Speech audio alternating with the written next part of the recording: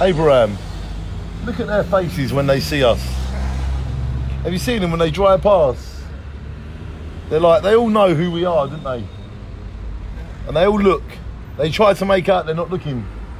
But we can see them looking at us, can't we? What's it all about, Abraham? Why are people so cunning like this? Like cunning like a fox? People are what they are, you know. You can't ask question like why. Because this is what they are.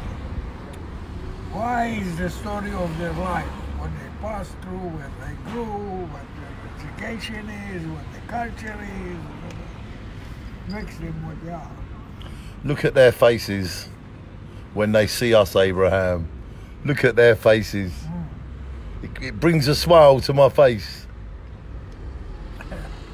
It, it means that we're definitely doing something right because we, we've got lots of haters, haven't we?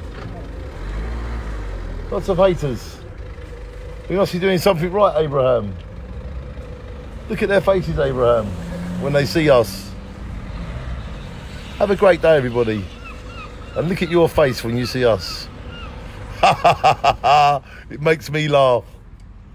Shine on you, you happy people. Mwah.